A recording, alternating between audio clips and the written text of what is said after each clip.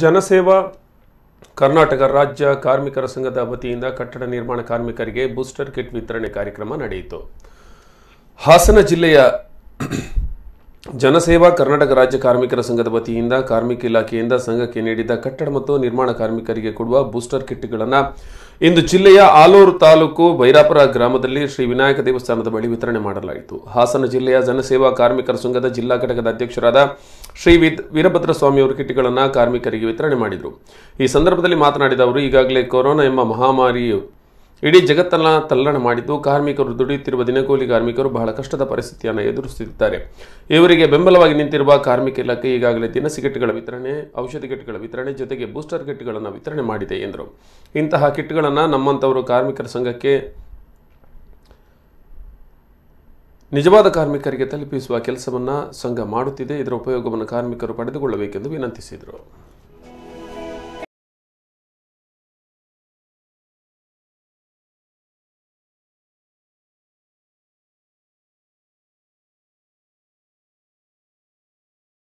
ಅಸಂಘಟಿತ ಕಾರ್ಮಿಕರು ಏನು ಸಮಸ್ಯೆ ತಿಳಿಸಿದ್ರು ಅಂತ ಸಂದರ್ಭದಲ್ಲಿ ಸರ್ಕಾರ ಅವರಿಗೆ ಅನುಕೂಲ ಆಗೋ ನಿಟ್ಟಿನಲ್ಲಿ ಕೆಲವು ಯೋಜನೆಗಳನ್ನ ಜಾರಿಗೆ ತಂದು ಫುಡ್ ಕಿಟ್ ಕೊಡೋ ಅಂಥ ವಿಚಾರಗಳಾಗಿ ಅವರಿಗೆ ಮಾಸ್ಕು ಸ್ಯಾನಿಟೈಸರ್ಗಳನ್ನ ಕೊಡ್ತಕ್ಕಂಥದ್ದಾಗಿ ಕೋವಿಡ್ ಒಂದು ಸೋಂಕಿಗೆ ಒಳಗಾಗಿ ಕೆಲವರು ಕೂಡ ಬಳಲಿದ್ದಾರೆ.